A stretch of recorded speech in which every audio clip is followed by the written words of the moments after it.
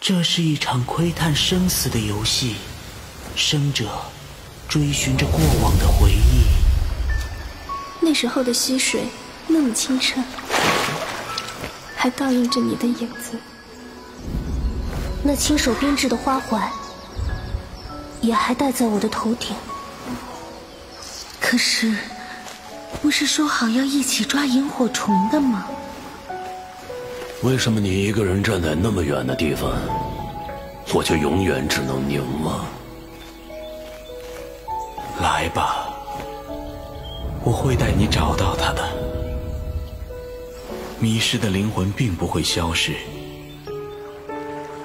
他们是声声虫鸣，闪烁日光，陪伴着你前往远方。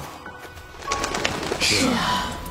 我终于明白，这世界只有一个你，不是幻想和虚妄。这一次，我选择放手，让我们在彼此世界重拾笑容。